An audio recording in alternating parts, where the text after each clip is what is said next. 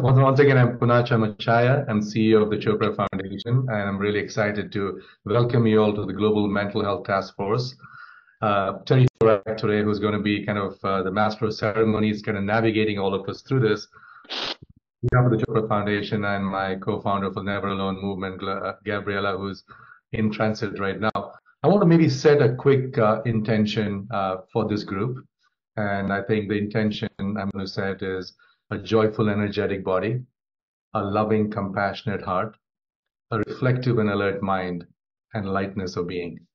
And with that intention, uh, what I would love for us to do is just over the next one minute, just ask these questions, what we call the soul questions, just to get ground ourselves into this amazing conversation and movement, which we believe we are starting for creating a more peaceful, just, sustainable, healthier, and joyful world. And the reflection is this wherever you all are, just close your eyes or just relax and take a few deep breaths and ask these questions and just observe what happens on your screen of consciousness.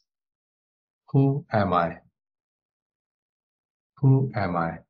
We're all spiritual beings having human existence and here on a mission. Who am I? The second question What do I want? What do I want? What do I want from this group, from this task force, from this collective uh, organizations coming together? What do I want? The third question What is my purpose? I'm here. We're all having a, a journey on planet Earth. And as part of this task force and in general, who we are, what is my purpose? And the last question What am I grateful for? Gratitude turns us to wholeness, holiness, well-being. And as part of the SDG 3, it's about health and well-being. And with that, let's once again set the intention, joyful, energetic body, loving, compassionate heart, reflective and alert mind, and lightness of being. Thank you again. Thank you, Poonacha. Let's get started. Good to see familiar faces. Feel free to activate the chat and feel free to say hello and where you're watching in from today. So, good morning, good afternoon, good evening, and hello. The SDG 3 has gathered us here today, good health and well being. And I'm also reminded of, you know, Dr. Deepak Chopra, who attended with us in uh, November, who will help see us through this journey. Often speaks to the antidote to this crisis of mental health is joy. And joy, and when he, when Deepak says a de- definitive, I often lean in, but he said joy is the only measure of success. So our opportunity to deliver joy um, today and through this journey is is is profound and, and called up, called upon us to do.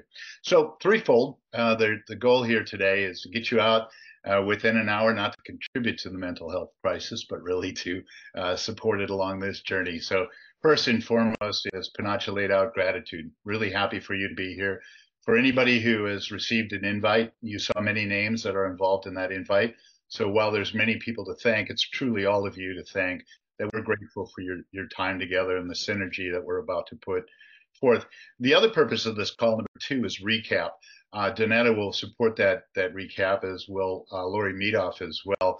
And then the third is really the engagement for action. And many of you who have worked with the, the UN in 20 plus years, you know how driven we are around action. And another meeting is not always typically our goal. So when we get to this number three of a commitment to action, if you were involved in the November meeting at the United Nations, you knew that at the end we rolled up our sleeves um, not because it was fashionable or hot, but we really had the chance to roll up our sleeves and talk about our personal passion.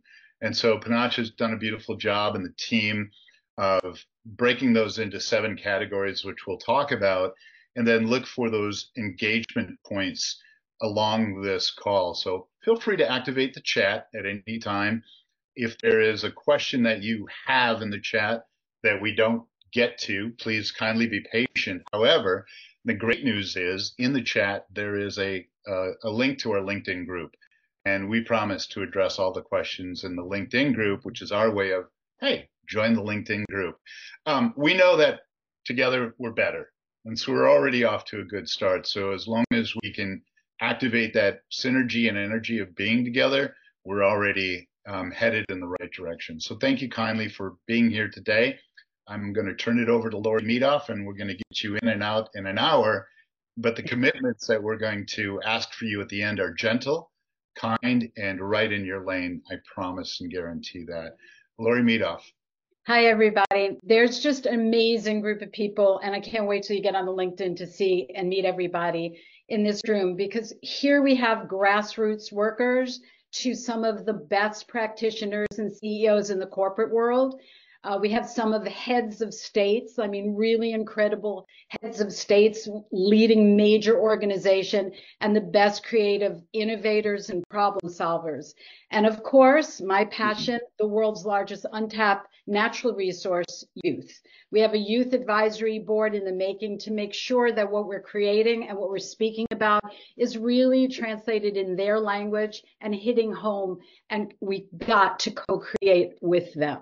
And so we're very excited to start that ball rolling with the youth advisory board. So we're going to be in this space, as Terry said, to align our passions and co-create a much needed movement together on mental health. But I want to thank everybody for coming. And we know time is precious and we wish, I wish we could break in small groups and get to know each other. But that's not what we're doing this time. But the next time we promise that's going to be our roll up the sleeves and get to business. But we want to just today speak about the opportunities and also give some roadmaps to the potential so that our smarts, our passion will completely coalesce together as we build this incredible movement of joy and impact. So with that, Donetta, who is uh, amazing, please come and uh, tell us the, the next steps. Thank, thanks, Laurie. Um, let me just take a quick minute and add to Laurie's gratitude mentions. Share a little bit of the big picture, why we're here today, and what we're hoping to accomplish. Um, Laurie's never-ending can-do anything belief of all in all of us that if we can create a better world, if it puts boots on the ground to create change, Laurie is always leading the way, and that's why she's been a perfect partner for this project. So sharing gratitude from all of us on the steering committee to all of you, we are humbled and overwhelmed with the response. Um, it starting in November uh, to now, our first virtual meeting, we thank you all for joining us from every corner of the globe to support a seed of an idea. This special project has brought so many amazing purpose-driven leaders and advocates to the table. We're now looking at this amazing garden. So from the kickoff event at the UN, I can only imagine the impact as we wrap up this next year, creating together all kinds of innovative tech-driven platforms to simple, organized movement ideas. We're looking to address and support a few different challenges and empower the communities trying to find solutions for the global mental health crisis. So far,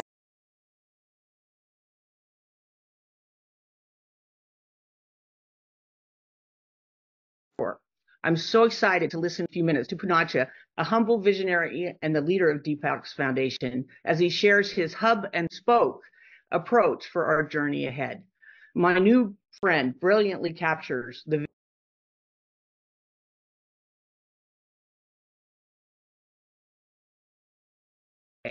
as we all sat together and became the global task force. And then there's Gabriella, the fourth part of us, the soft spoken voice guiding us through the most heartbreaking human challenges while fearlessly taking them on to help someone else. And we're so grateful she is in the mix. And my pages are sticking together. There we go. So some of our time together at the UN, we have done a deep dive through so much important insight, powerful ideas that you all share. We work to identify the areas that we could build on and create the areas of focus for this project, that we could work to create the powerful recommendations and tools to support the United Nations SDG 3. So right now, I'd like to break for just a second and invite Amir Dossal, president of the Global Partnerships Forum and a, a key influence in my life around the United Nations, and a UN champion like no other that can make this all mean something for all of us, the work that we put into it to share a little bit of his thoughts and talk about the SDGs and the UN landscape and some of his new um, team that's come together around this project since we last met. So Amir, will you join me for a minute? Thank you. Thank you, Donetta. And thank you so much for your kind introduction. I really don't deserve this. I'm honored to be part of this August group. And I want to start by congratulating Poonacha, you, Laurie, Gabriella, and everybody who's been really the driving force behind this. I remember when the initial conversation started last year, where Donetta said, "Look, we want to put this together," and and before she could finish, I said, "I'm in," I, and I was thrilled to be part of this, and and I'm also delighted that Ruma is joining us uh, from the World Economic Forum. They do amazing work in the health sector, and uh, Ruma belongs to my alma mater because I was part of the health and healthcare group uh, until December. So I was privileged to be part of that, and I continue to be uh, engaged in their work. And so you'll be hearing from Ruma about what they're doing in the area of mental health through the Healthy Choices program. Uh, so I just want to touch on a couple of quick things, actually. the work which this task force envisages is to change the direction for young people, people who are impacted by depression, mental health, and so on. And you, you know, the forecast from WHO is that mental health could be one of the top diseases by 2030. It's the silent disease, part of the NCD agenda. And I'm hoping that the work of this group can contribute to that change of reversing that decline, actually. And I think we, there, we have two organizations who are key to us in this process. Uh, one is the World Economic Forum, and the other is the World Health Organization. All of that, both their work is critical. And if we can be engaged on both aspects by contributing research, by contributing actions. So if, when I say research, I mean applied research, actually doing things that are making a difference in society. And I think we should report it on a regular basis to both these institutions, uh, including, of course, the United Nations, where the discussions on mental health take place virtually every year at the UN General Assembly. I, so hopefully by this September, we will have a good action plan which talks about results that can change the world. So once again, I'm honored to be part of this group and thank you again for including me. Thank you so much, Amir. Um, we're so honored that you joined us and couldn't do this without you. So we're very grateful. Um, so I'm so happy to share a little bit more about the amazing synergy that has come together with the task force and the World Economic Forum Mental Health Leadership Team. This partnership will give us a solid start to our recommendations. And so our first official recommendation for the task force is to present, uh, you know, to be presented is that they will be our first established area of investment. They're already built and ready to go, and we will just be the bridge that leads them into the United Nations and the SDG 3. And we are so uh, honored today to have Ruma here with us. Uh, we were lucky enough in New York for the United Nations event to have two of her New York based colleagues join me for a fireside chat, which you can see on the YouTube channel in the video and also in the LinkedIn group. They were fascinating to listen to. And today, then, we get to experience um, the project through the lens of Ruma's eyes, and she, I think, was the main developer of this project. So um, I'm going to hand it over to her and let her take it from here. Thank you, everybody, for coming. Thanks, uh, Donetta, Amir Poonacha, for the warm welcome. And it is a pleasure to be with all of you and all the guests who have joined uh, from across the globe. I uh, lead the health in a mental health initiative at the forum, and uh, this is a new initiative which we started last spring. I'll give you a very brief, as precise and crisp as it can be in the form of a presentation. And I assume, Donetta, it would be shared with all of those who are present currently uh, in the meeting. And following the meeting, if there are any questions, comments, feedback, or if you would want to join us for the initiative, we would be very happy to welcome you. So just give me a moment. I will start to share my screen.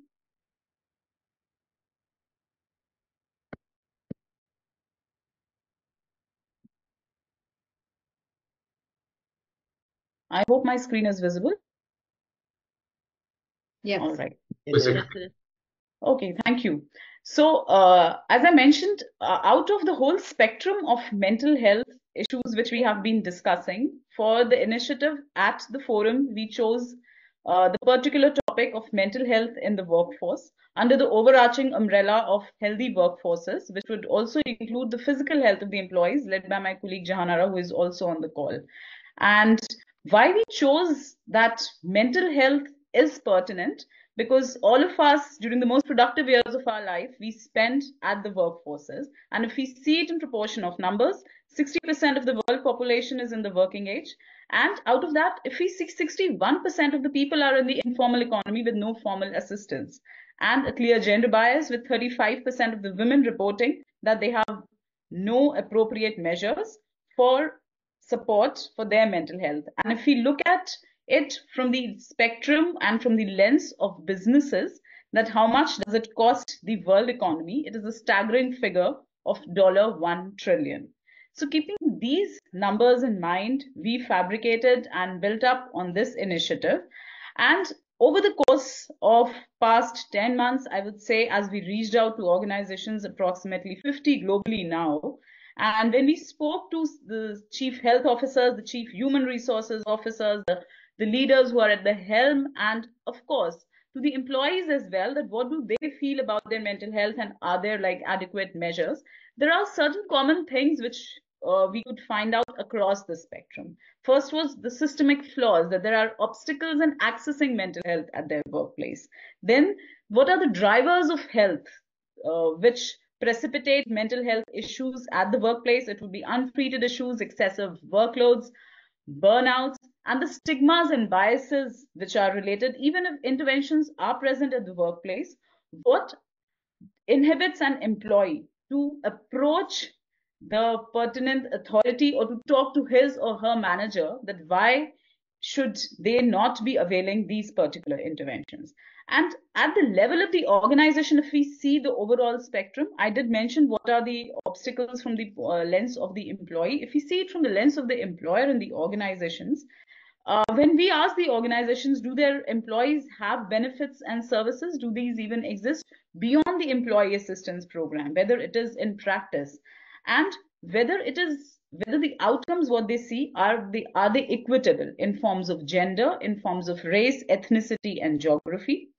Do the interventions or the offerings these organizations take do they affect the overall larger community beyond their workforce? So as we had seen that 61% of the people they are in the informal workforce which are untouched by the formal employee assistance program. Are there any offerings by these particular organizations in the form of csr or philanthropies which could aid this particular spectrum and the ecosystem that how are organizations tying up with each other? What are the partnership platforms? Of course the task force is one of them but what are what are the other platforms regionally and locally which could help build partnerships and take this issue of mental health at the workplace at a higher level this is the overall mission, vision, and goals what we had uh, conceptualized for the initiative to promote the mental health of the employees with a vision to create an environment of positive mental health and wellness.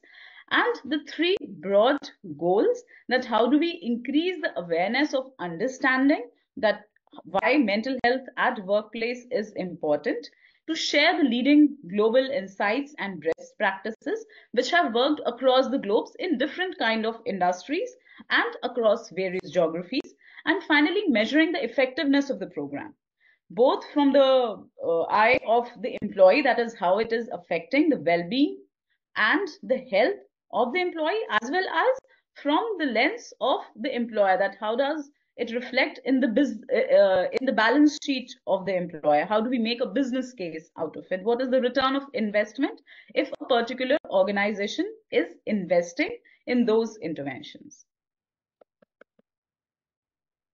Okay, so there is some issue with my system. Let me just share it again.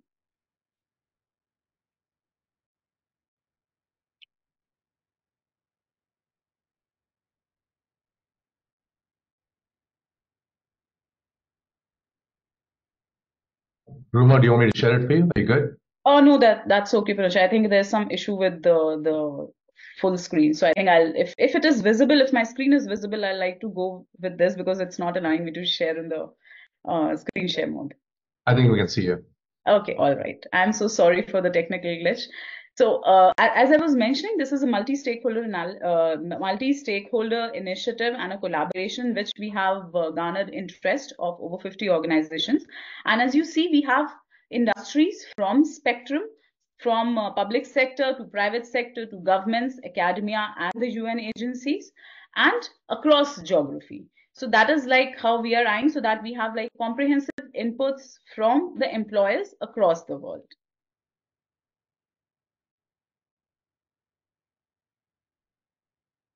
This would be the likely governance structure of uh, the initiative. While we have the executive champions at the top, we'll be having uh, two steering committees, one physical health, one on the mental health, and the overall community of the healthy workforces, and two working groups. One would be focusing on the intervention that what are the best practices and insights being deployed by the organizations. And second, that how do we measure those interventions? So we are currently in the stage of building up these working groups and hopefully by next month, uh, we would like to go full swing with uh, these two particular working groups. And uh, by hopefully by next our next annual meeting, which would be in Davos, that is annual meeting 25 in January.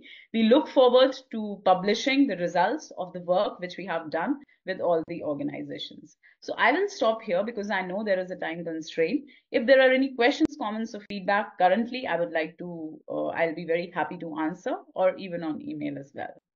Thank you so much, Ruma. You are a wealth of knowledge. I do want to ask one question. You know, we have so many overwhelming subjects of the World Economic Forum, one of which was to say up there with climate is the issue of divergency in the world, how we are absolutely divided and we're so far away from dialogue to resolve that it's become another one of the major issues in the world. On the flip side, what did you walk away from the World Economic Forum feeling wildly optimistic about, feeling wonderful about that you might be able to share with us?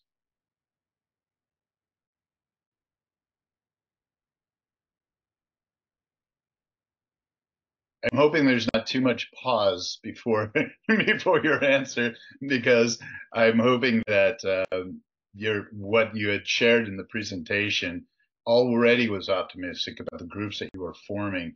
What did you feel best about coming out of the World Economic Forum this year? All right. Okay. I'm so sorry because there was some glitch. I was not able to hear you properly. So I understand, uh, Terry, uh, you were asking that what were the results of the annual meeting which we had uh, this year?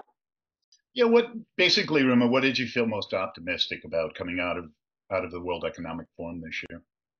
All right. Yeah. So this year, I think, uh, especially like the partnerships, what we have built uh, across organizations, not restricted uh, to one geography per se, and how we are linking mental health uh, issues across different spectrums. Climate change, definitely you mentioned one, but how does the gender perspective come in? How does equity come in? So I feel those are the points which, uh, you know, uh, make me hopeful and also more, uh, you know, uh, inspired that what all do we need to include in our strategy and not look at look at it from a single lens of just mental health whereas be a more convergent and an open initiative where we can take into ambit the feedback from the other aspects of health as well, be it like social determinants of health or be it the political or the environmental. Thank you, Ruma. I was optimistic of the reports that came out of the World Economic Forum, knowing that we have come together as a group to, you know, address SDG 3, which is good health and well-being. Um, I'm gonna, we're going to go now to Panacha, and Panacha is going to ask you to take your time. And if there's any questions at all, because this is really the the heart and soul of the action here, as we look at uh, a hub and spoke, and for New Yorkers, the hub and spoke is when you order that pizza to go, and there's that round thing in the middle to keep the cardboard box from uh, touching the bottom. That's that's the center of the hub. Um, and the hub and spoke also sounds like a great pub where we should meet next time. But if you have any questions while Panacha uh, works through this hub and spoke, these six slices, please uh, feel free to put it in the chat. We may not get to it in the respect of the time of this call, but we will definitely address it if you join the LinkedIn group. Panacha, it's yours. Thank you, Terry. I think uh, today of all days, there's a major drilling going on in my building, but that's what life is, right? Life is existing in the chaos. And I think your design systems which make us live in the real world. Once again, I'm Poonacha Machaiah. I'm very grateful for the opportunity to co-create, collaborate, and I think build this together. I'm going to set a context for this. Uh, when I came to this country, the United States in 91, 92, my first job was at Sprint in Kansas City. And it was a great learning experience for me. At that time, when you had to, had to call, Sprint had to call AT&T, or AT&T had call T-Mobile, you actually had different service contracts. None of them talked to each other, right? And then when you traveled from the US to the Europe, London, or to India, you actually picked up another phone because CDMA would not talk to GSM. So why am I saying this? Is because these num these systems never spoke to each other. And today you travel across the world. It's seamless. You have IMEI number, you can switch. And that really became one of the grounding things when I looked at the task force. I said, as we go into the phase of designing the systems, right? We have seven different opportunities for us to come together. And, and I always say, I look at these as six different villages. It takes a village to bring up a child, right? So we look at these as different villages. How do we come together? So our goal was that why don't we create an open source platform where it doesn't matter where you are, the things I learn in India or the things I learn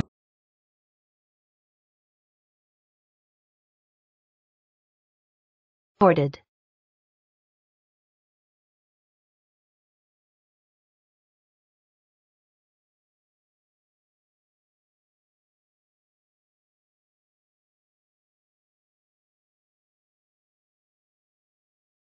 So look at across all these areas. These are some of the buckets when I look at how do we kind of make sure that we can have consistency across all the different groups. And one, can we design a platform, a process and a platform where everybody can take it forward and move it? Like I like to use analogy of when Linux came to the technology world, they open sourced everything, and then people took it, took it to the next level, right? So this is really one of the key aspects of how people, process, platforms can come together as part of this global mental health task force. And maybe for the first time, we look at mental well-being as one unit, whole health, right? It's not just, I mean, we can all come together, look at the person in, uh, in unison. So example over here, what we want to do as part of this task force is really look at different areas, prevention, diagnosis, treatment, recovery, support, media outreach.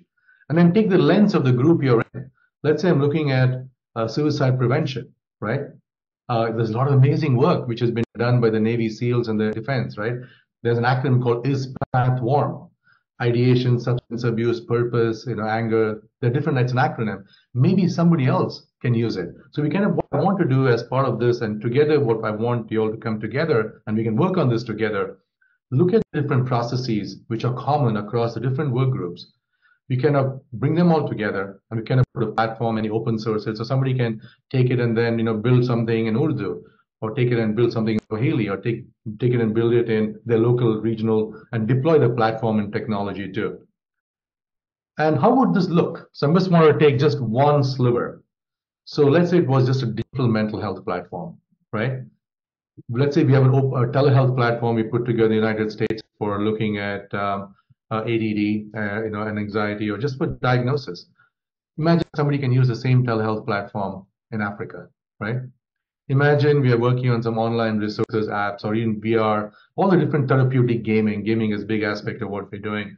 What we want to do is the phase one is create a global catalog or repository of all the resources available and share it in one place.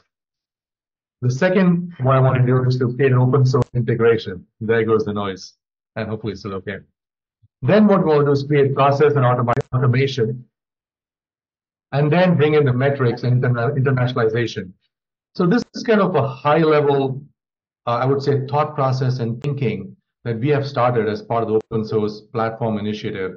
And what I would love to do is to bring the different conversations together and create a consistent process and then we platform it. So that's kind of the, I guess, the concept and the hub. And I think this is just a first start, but the goal is to make this a very strong people process platform recommendation. So Terry, I will pause because I don't want the noise to take over. So I understand, Poonacha.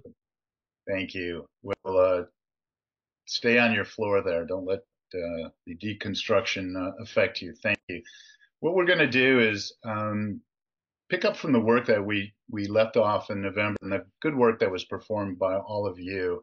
And that's when we really put forth our areas of interest and passion. And there's really um, seven in total. There's six slices. And as Panach outlined, in the center of that is really the open source solutions. So what we'd like to do is invite and ask you to look at the slices and consider which one you might want to join and lead with. Now, we'll explain each one of these briefly as we go through. We tried to put headlines there that are somewhat self-explanatory, but it's fair to say that there are many that transcend across all of the slices. AI affects every part of uh, what we are doing going forward. So does high tech and low touch, high touch. So this is really about selecting an area that you find a particular affinity to. And if there's one number in particular, that's really what we're looking for you to look for that says, yeah, I'd like to get behind gaming or I'd like to get behind content creation. And of course, what will happen next is we'll break into these groups in the next throughout the year on at least a monthly basis. We will recollect ourselves at least on a quarterly basis with calls like this. But if you feel, hey, uh, there's two in particular that you would like to join. We'll have a forum for you to sign in. You're also welcome uh, as we talk through each one of these seven areas. That in the chat, if you see something that really uh, aligns with you or you have already agreed to, feel free to put your name and the number next to it. And if there's two numbers and you want to prioritize one over the other, feel free to do it. a couple important things to point out that was true of our event in November many of you felt like, look, I'm already working in this space. I'm working in the space of fashion. This isn't really also about creating new action. This is about creating the action that's already underway to share with your colleagues, to share with others, to say, hey, we've already created a game. We're already working with Deepak Chopra. It is our opportunity to share that synergy of the good work already in place. It's also true that together we can co-create opportunities going forward. So whatever's going through in the theater of your mind, there is a, a movie here for you. And we just want to engage and involve. And when we talk about investment, we're really talking about leading with the investment of your time. And if the back of your mind, you're worried or wondering about where's the where's the economics behind this, we too, is when we break into these individual groups, we'll discuss economic needs of each one of these individual slices and then address what action aligns with what financial needs. That's part of the task force moving forward. So I encourage you to really lean in, um, pick a number as we explain each number. So we're going to start with the clock. Uh, in the in the Western world, with number one, talk about a place I'm passionate about, games and immersive experiences. And I do believe Susanna is with us, or I believe also uh, could be Eve. Eve, Yes, perfect. Eve, uh, executive director of Take This, thank you for, for being here. And I'm so excited to hear uh, some of the thoughts. So each one of these groups have designated leads, um, and some are looking for designated leads, but we're really looking to you to jump in and support these groups. So Eve, over to you, number one in gamification. Thank you so much. So I'm Eve Crevoshay. I'm the executive director of Take This, which addresses mental health across the lifetime of games from studio formation all the way through um, community interaction and community health online. Um, I uh, have joined this uh, this group at the task force, um, and and I'm co-leading this effort um, on mental health and games with uh, Susanna Pollack. I'm little I'm new to the to the group, and I'm very pleased to be here. What we imagine in this games and, immersive experiences um, uh, work group um, is to develop a por- portfolio of potentially mental health interventions um, or other ways to leverage the power of games to um, to create uh, spaces where uh, people can learn about mental health, where people can practice well-being, when we can um, advance uh, partnerships across immersive experiences, and um, and leverage the power of game studios and, and game platforms that already have a global reach. Uh, games are um, a significant uh, industry worldwide, uh, with I believe three and a half billion players uh, to date. And so the, the cultural influence, the uh, sheer volume of players all have so much uh, to offer in terms of the opportunity around addressing mental health and mental well-being as long as we do it with care um, and and with people uh, first. And so we're uh, very excited to be involved in this effort, and we're very excited to bring a really cross-disciplinary uh, group together to think about games and immersive experiences in terms of their ability to impact global mental well-being. And I uh, very very pleased and honored to be a part of this group. So I will send it back to you, Terry. Thank you. Thank you, Eve. In true gamer fashion, I love the uh, I love the headset and, and you know the more immersive experiences that we can create. Awesome from high tech to high touch. I really appreciate it. I, am I'm, uh, I'm excited. You know, you you mentioned uh, three billion gamers, but you know, gamification applies to everybody on the planet. And playing games or being gamified is oftentimes what we'd rather be doing uh, than most anything else. So when we can touch upon the joy of gamification, of everything it applies. So I'm really excited about this. And, you know, we have a small plug here. This comes out this fall, but it's a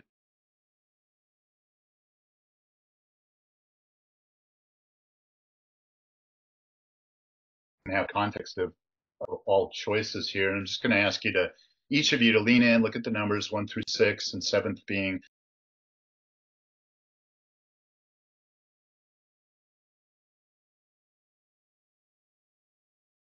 PSA, the arts and content creation. And this is ranges from short social media uh, hits, um, bumps, all the way out to docu-series. So if an area of passion that you're interested is in and around content creation or the creator of economy, this is for you. This will be led by already some great content that includes Deepak and influential A-list friends, i.e. Um, celebrity friends, delivering powerful and global call for community action. Uh, the PSA's podcast and uh, plan for celebrity filled virtual and on-site roadshow uh, to create education and activation, a vehicle to support strategic investment. And so this is really about on the ground regional community organizations and empowerment events, including G4C video game festivals, arts, a myriad of events, community content creation projects. This group in number two is really dedicated to harnessing the power of media and the power of influence in the arts and act activation to raise awareness about mental health issues through targeted public service announcements, immersive art installations, ad tech strategies, and multimedia campaigns that aim to break down stigmas and educate the public and encourage individuals to seek help leveraging data-driven sites. This work will span various platforms. As you can see, it transcends to many of the other categories through social media to public exhibits, uh, making mental health a visible, vital conversation in our society. It's the first way to destigmatize. And as we know, for those of us passionate about the arts, the arts leads these categories and helps socialize the opportunities throughout the world. So that is category number two. It's really about PSAs, arts, content creation that ranges from short social media hits, uh, hopefully celebrities, and ultimately rising influencers of the next generation, right on through to the opportunity about docu-series around joy and opportunities. As we look at number three, and if again, if you have any questions at all. Terry, uh, just wondering if Gabrielle is still on, maybe she can chime in. Oh, Gabrielle?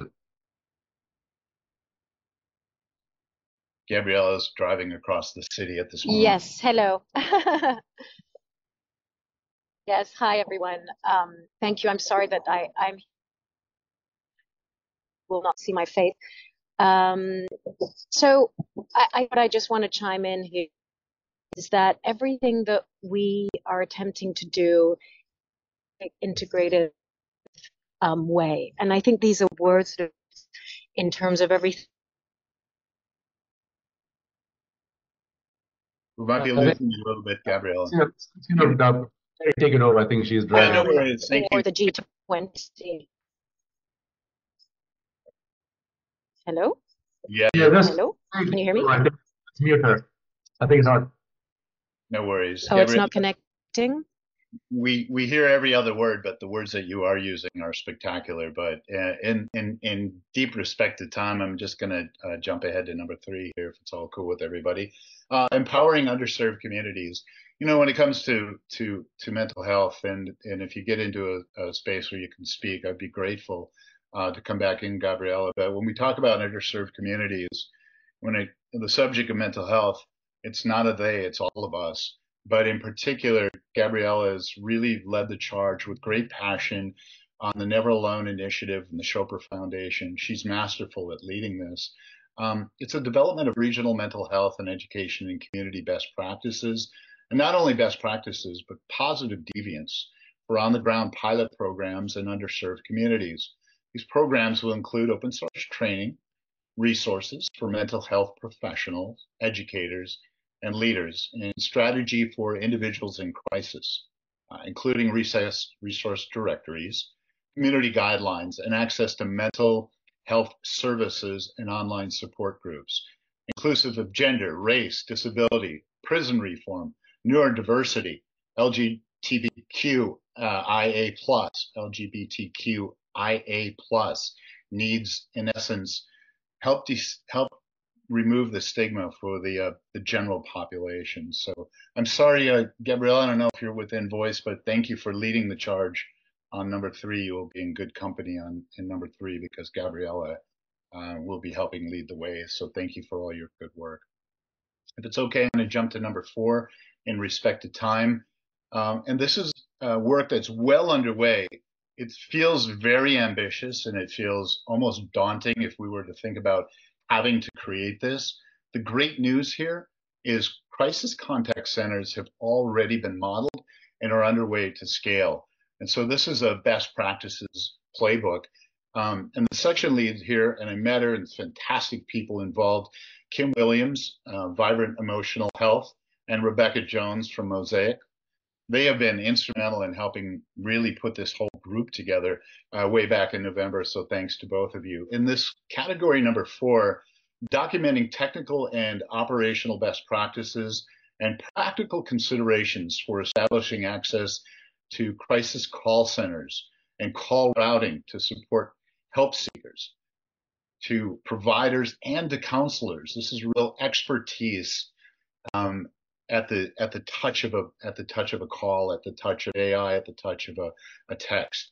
And this team can be considered a horizontal service across the other task force team, applicable across uh, multiple use case and environments. And I was so impressed with the work that's already underway in the Crisis Contact Center.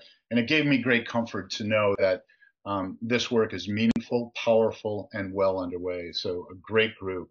I do want to turn um, this one over in um, into Lori in a moment. Mm-hmm. And number five is about disinformation high impact areas, climate crisis, trauma, and campaign development. And as mm-hmm. Lori likes to say, boots on the ground, that she deploys youth masterfully. And while disinformation has been, you know, the enemy of humanity, clarity is our is the key. And over to you, Lori Meadoff.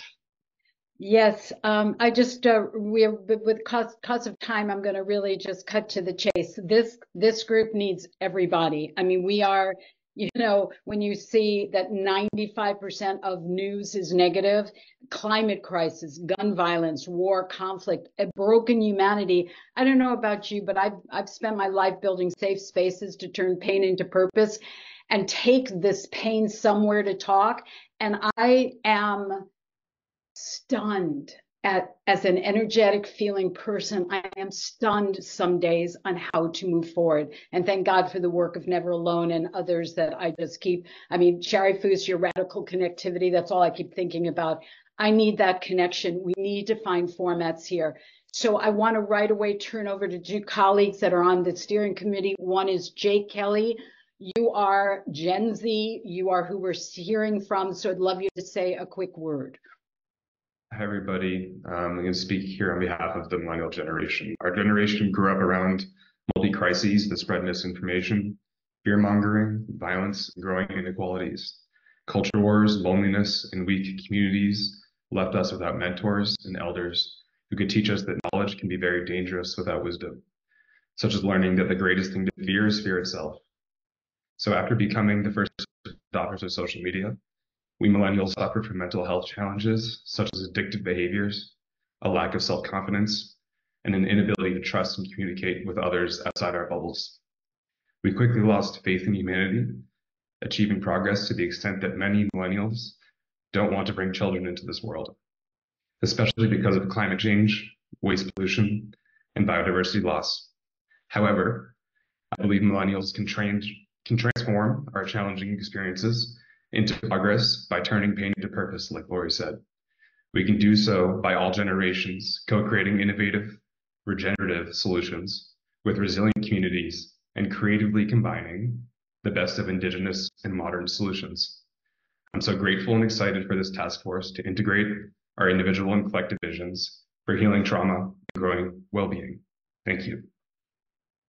Thanks, Jake. And also, um, you know, we talk about war. I've had the unbelievable privilege of working with Ronit Zimmer, the CEO of Project Rozana, a place that brings Israeli and Palestinians together in health diplomacy. Ronit, thank you for joining us from the region. Thank you, Laurie, and thank you to everybody here. I really feel like it's an enormous privilege to be part of this group. Um, as Laurie said, I'm the CEO of Project Rozana. We're an international health diplomacy organization that contributes to addressing the healthcare disparities in Israel and Palestine by creating, and as you like to use, I've been, hearing it a lot this evening, uh, evening here in Tel Aviv, uh, co-creating uh, collaborative initiatives between Palestinian and Israeli healthcare actors. Um, of course, when we talk about trauma and we talk about mental health and we talk about, I think somebody mentioned before, an era of chaos. Here we are living through something well beyond chaos. We are living through tragedy. We are living through uh, cumulative trauma, right? So you're talking about generations of trauma, and we know that these generations of trauma are going to continue on in the next few decades.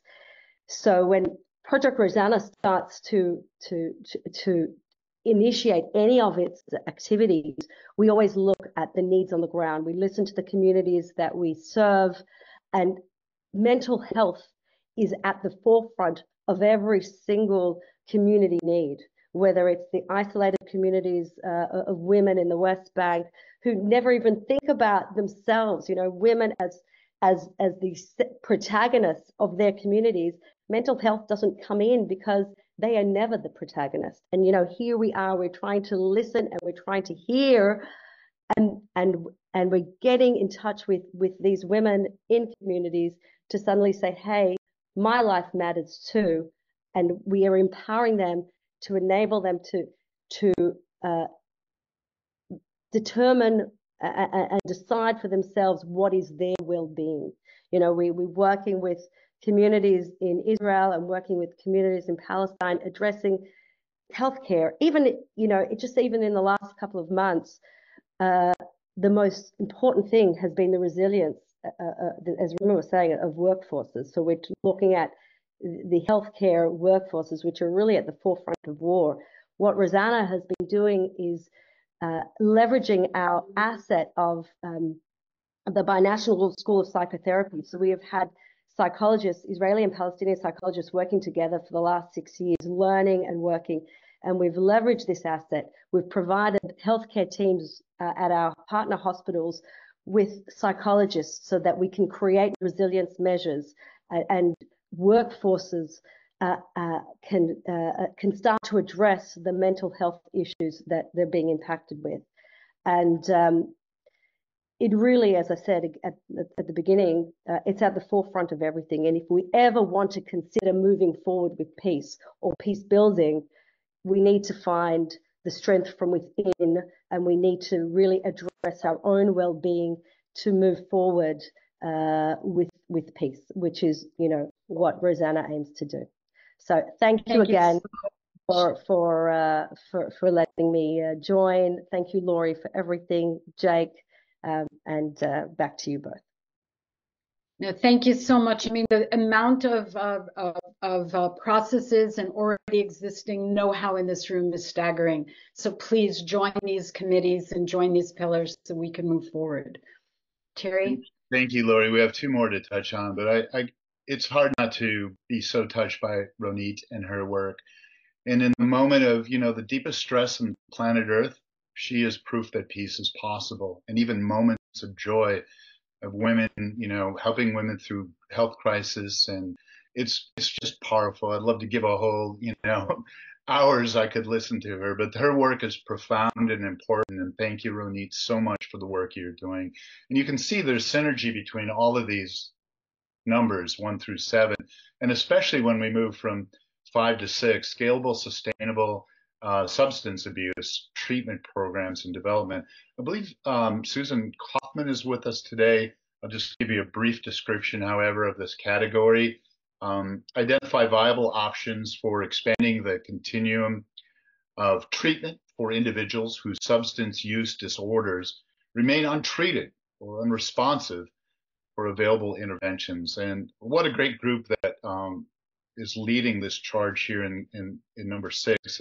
Susan Kaufman, uh, Dr. Eddie Smith, Jocelyn Grant, Executive Director uh, of uh, Granted Recovery, Meg Fenn, Community Relations Liaison, and um, uh, Empower Wellness of Exton, and that's uh, Kathleen Kiley. I believe, um, is Susan available to speak a, a moment or two? If not, I, I don't know if Susan was prepared to speak, but I do know that um, Becky Jones had jumped in over on the chat and that her and Kim would like to give a few words around section four, working group four. To okay.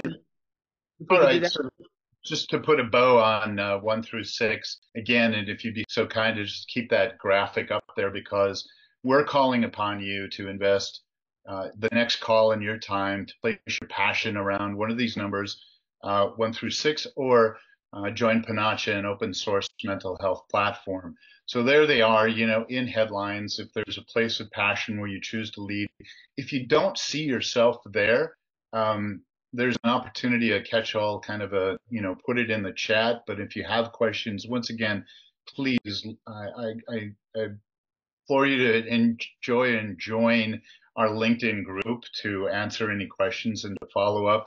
I think the time commitment is not it's not extraordinarily overwhelming. I think you're going to want to knowing the nature of all of you want to give more, but at a minimum that we gather in these groups once a month and then once a quarter we gather as a large group and hopefully reconvene again at least two more times before the General Assembly at the UN. So we have lots of good synergy planned.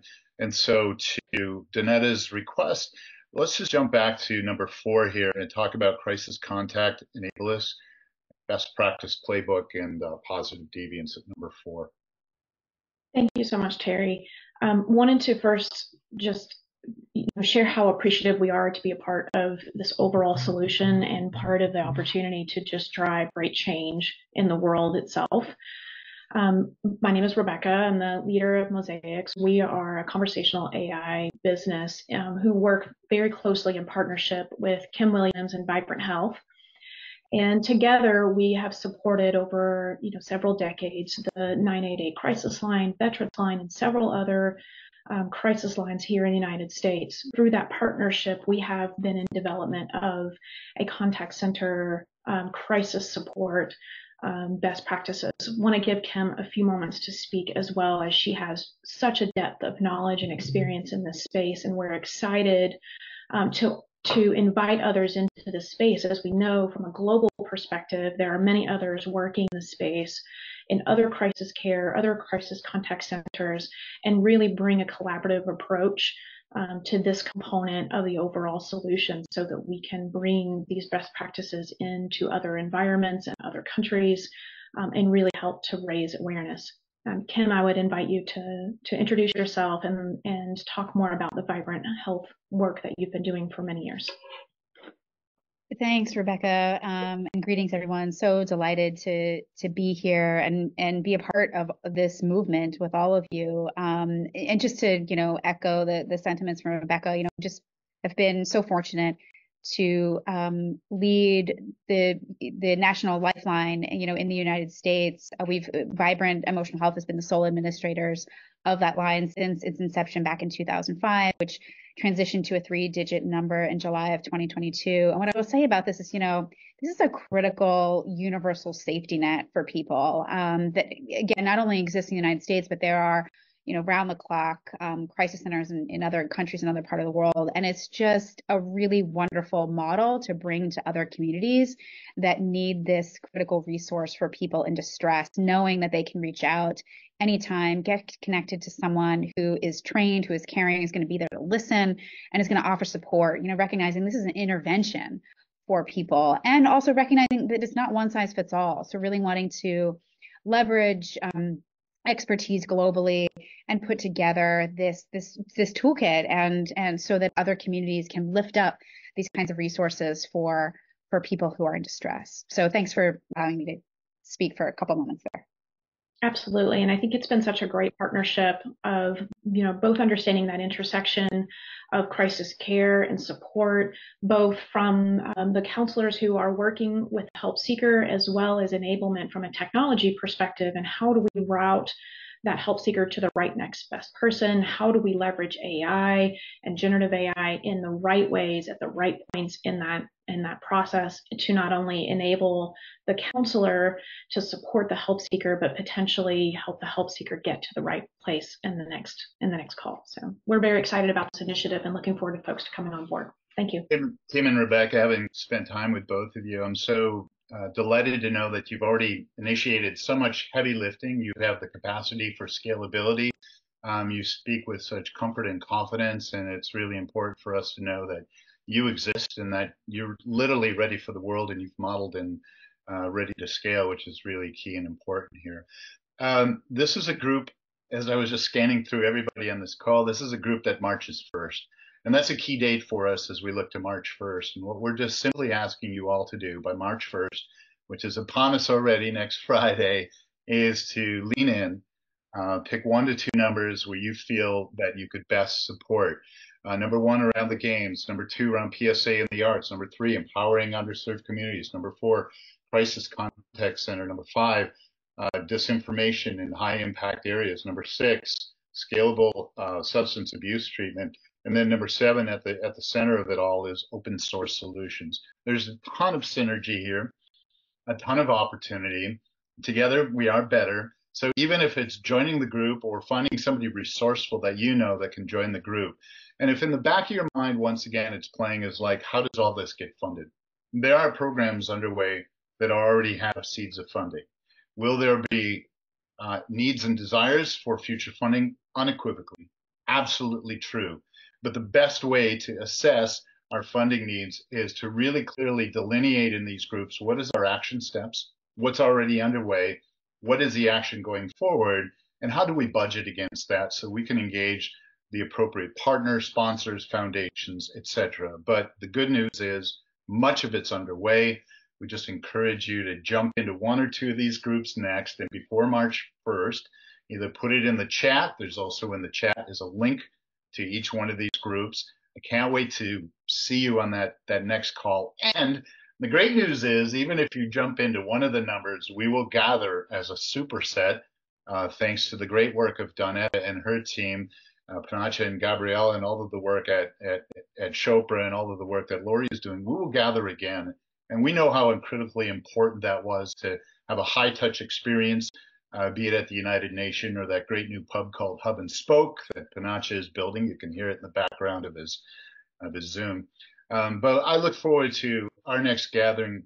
Uh, it, it's it's been amazing. It won't be as much time as it was from November to our next call.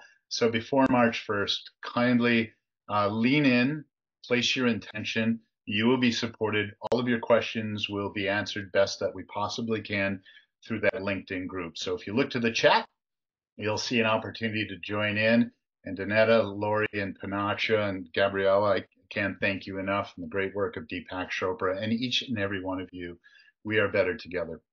Hey, thank you, Terry. And I just wanted to say also the idea of doing the recommendations, if they are approved for the SDG 3s, that opens up funding for those things to happen, right? So this is really a menu of ideas and possibilities that if we can get that kind of approval, which with the team leading it from Amir Dossal, we've had um, a number of other people at a high level in the UN system agree to come on board and help us navigate that, then that will solve some of those problems too to make some of these things happen, right? And we've done this process before for women's economic empowerment, and it's an amazing journey. Now, all of these categories might not be what goes into the document, your job in the groups is to figure out how to build them, what we could offer, what they could look like, and then we determine if they fit into that recommendation form that the Secretary General might approve. And we go from there. And I just wanted to give one last quick shout out. I know there's so many wheels turning, and Terry, you've been just amazing doing this. Thank you so much. I just wanted to make sure to note the co-leads for section two. Uh, we've got RJ Nichols, Nicolosi, um, and Laurel Rossi from an amazing um, tech company called Infillion. And we've got Rebecca Dope, who is uh, out of uh, Google to many other amazing media companies. And she also runs an amazing nonprofit called Exponent. So they're going to be leading up that chapter and uh, encourage you to join their group. And I also just wanted to thank Becky Jones and Mosaicx for the lovely lunch they hosted at the UN for us and uh, they couldn't have asked for better partners and they made it a wonderful experience for everybody that came. So thank you for joining us today everybody and i'll hand it back. That's it. Thank you. By march 1st please lean in. We look forward and if there's others that you know in your your network and group please invite them in. We're uh, we're going to make this happen and this will be a group driven by action not just talk but action and that's um, all of your good work. Thank you kindly appreciate it. thank you everybody. Thank you so much